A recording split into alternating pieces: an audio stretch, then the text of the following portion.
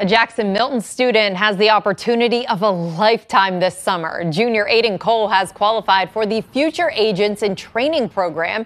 It's an FBI run program that shows aspiring agents what it's like to work in the agency. The program only accepts a small number of candidates and looks for students who excel in the classroom and community.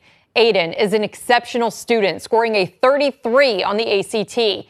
He's also a Camp Fitch counselor every summer and a part of the Stambaugh Youth Band and YSU Orchestra. That training camp will take place in Cleveland this June.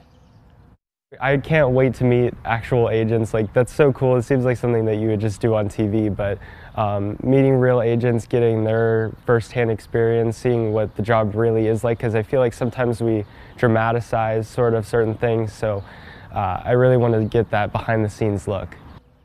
Aiden will learn all about forensic and investigation techniques, cybersecurity, and so much more. Hi, everyone. I'm Lindsay Watson. Thanks for watching the WKBN 27 First News YouTube channel. If you want more video news, subscribe to our channel. And don't forget to download the WKBN 27 First News app for breaking news alerts.